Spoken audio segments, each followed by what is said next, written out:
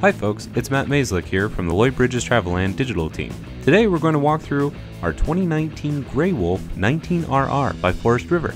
This is the number one selling traditionally constructed travel trailer toy hauler in the industry. It comes with the standard Cherokee stable step. The hitch weight on this unit is 574 pounds with a gross weight of 7574 pounds, which means you can haul over 3,000 pounds. So you could haul a couple of motorcycles, a go-kart, or a canoe, or kayaks, and all of your fishing gear too. With four access points, you can secure your cargo down fast and easy.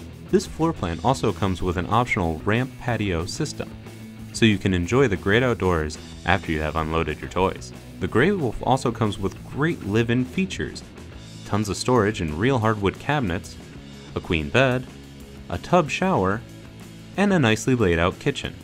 The 19RR is a great economical way to get into RVing and is available here at Lloyd Bridges Traveland in Chelsea, Michigan.